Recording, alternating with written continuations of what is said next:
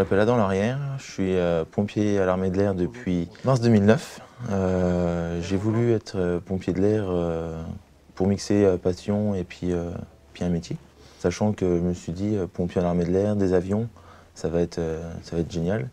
Et j'ai été à Djibouti en 2011 donc pour faire une OPEX qui était très, très sympa, où j'ai vu beaucoup de choses.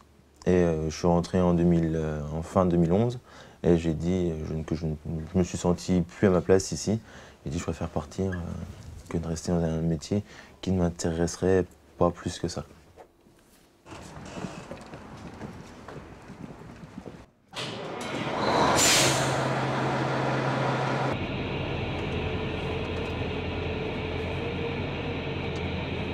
Conduire les gros camions, ça c'est... Étant fils d'agriculteur, euh, gros véhicules, les engins agricoles, euh, c'est une grosse passion, c'est une grosse, euh, grosse envie. Et ça, c'est euh, pour rien au monde, je le, je le, je le ferai pas. Dès qu'on me dit qu'il faut prendre un véhicule pour aller d'un point A à un point B, je suis le premier à sauter sur l'occasion. La, formation chauffeur poids lourd, c'est venu tout, directement. Bah, j'espère pouvoir trouver une, une, entreprise dans du TP, donc du travaux publics, euh, refaire des routes, etc. Et ça, pour des engins comme celui-là, ça sera, ça sera génial.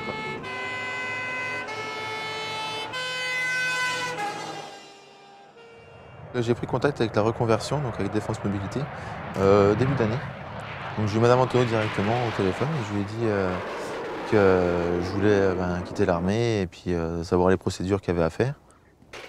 Donc on a eu un premier rendez-vous, donc euh, on a trouvé que je voulais être conducteur routier. Et là, donc on a entamé les procédures euh, administratives normales. Comment allez-vous? Très bien, et vous? Je vous en prie, installez-vous. Merci. Je suis conseillère en emploi sur la base de Nancy-Auchet depuis 7 ans. Je suis là pour accompagner les militaires, les anciens militaires et les conjoints de militaires dans leur recherche d'emploi. facile si vous avez des connaissances. Ça se fait pas en quelques mois. C'est pour ça qu'on recommande aux gens de venir nous voir deux ans avant leur départ puisque justement euh, le départ de l'institution militaire est quand même un parcours et pas seulement une étape.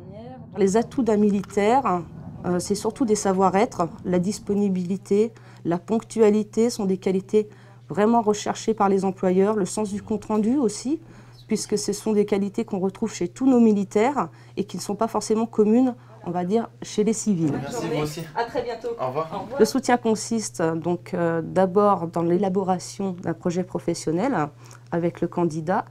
Après tout l'accompagnement euh, lors du montage de dossiers de reconversion pour ce qui est des militaires, les aides à la recherche, les techniques de recherche d'emploi, donc CV, l'aide de motivation, conseil à l'entretien, et puis toute aide inhérente à côté, tous les conseils qu'on peut leur apporter, même pour les remettre sur certains services, puisqu'ils ne sont pas toujours au courant des démarches administratives à faire, euh, pour bah, leur faciliter leur retour dans la vie civile.